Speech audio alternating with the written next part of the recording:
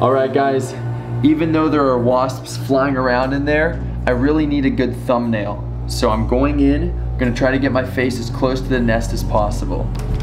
Whoa, there we go. This is a perfect example of a yellow jacket. Stand, stand. No! Go back in. Before you continue the video, I wanted to let you know that I just released a song. It's gonna be the first song for my artist name, Masland, which is actually my middle name. I'm really excited. This song means a lot to me. I think it's really catchy too.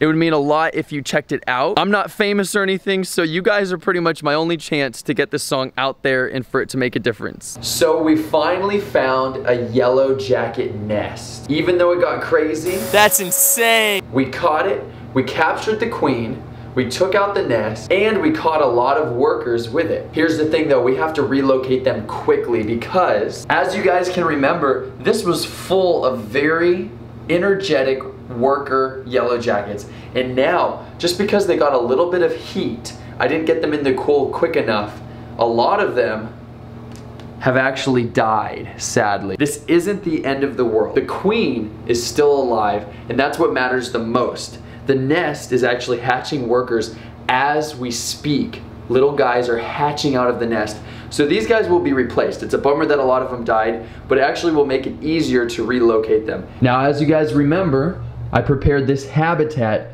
just for an opportunity like this. Down here, I have a little cooler. This thing will go 24-7 and keep it cool. I also have a fan there that just keeps the air circulating. So hopefully, in this environment, it will be optimum temperature and humidity for these wasps. Right there on the nest is the queen. Look at the size of her compared to some of the workers. That's insane. So the first thing we're gonna do is take her and the workers off of their nest so that we can secure the nest on. Now you guys can see here, these are workers that are freshly hatched. There weren't any workers on the nest when I first put it in here. That's crazy how quickly they multiply. There's the queen. She's so fat she can't fly. Oh my goodness. Fat she can't. Ah! Okay. One tried to sting me just now. It is aggressive. It's trying to get on the other side of this screen. Nope, nope, don't do it. Oh crap! Oh my gosh, it's trying to sting the net right there. it just stung me on my finger and my the top of my hand right here. That is pain. I Hope she's okay. Okay, thankfully the queen seems okay, even though things got a little out of hand just now. As you can see, we're keeping this environment 75 degrees. That's a really good temperature. Apply some hot glue to the back of this thing so that we can secure the nest really well on the wall. We're securing it on the wall right here.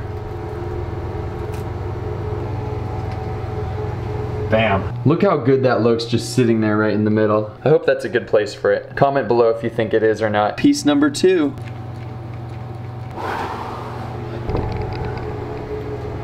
Bam. Like a piece to the puzzle. In a few days, these things will be so aggressive they'd attack me from a foot away. That's crazy. I just noticed right here, this white cap, that's the head of a worker that's about to hatch out right there. It is time to introduce the queen to her new home, her old nest. There it is. Bam. You like your new home, girl? She seems to be at home right now. There she is. Want some honey? Why don't you want some honey? It's good stuff. He's like, ah, I do not want diabetes. Honey doesn't give you diabetes. Are you crazy? there we go. She's eating it. Oh, she loves it. I knew she'd like it.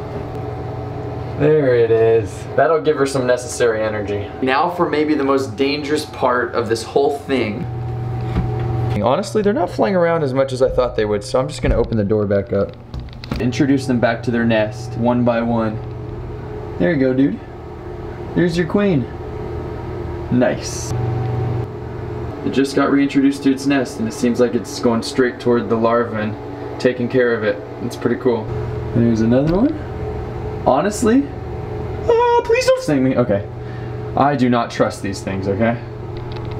Honestly though, if they weren't so aggressive, they're quite cute. Oh, it's stinging the stick. Golly. There we go. Now it's on the nest. Come on. Oh my goodness, she's mad. There you go. Come on. Ah! okay. There we go. Nice. You're home. I do not want to get stung today. Mademoiselle, come on.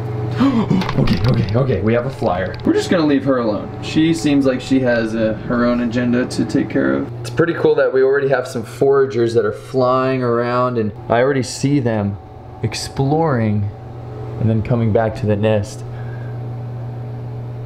I feel so dumb. I thought the queen was like dying because she was acting super weird. And then I poked her. I realize I think she's laying an egg. So I literally poked her while she's trying to give birth, which is really not the right response, I feel. The amount of eggs that are being created inside of her, she almost constantly has to lay eggs. Alright guys, even though there are wasps flying around in there, I really need a good thumbnail. So I'm going in, I'm gonna try to get my face as close to the nest as possible. Whoa, there we go. This is a perfect example of a yellow jacket. Stand, stand. No! Go back in. Go away. Go away. I need to get, I need to get a thumbnail. I need a YouTube thumbnail.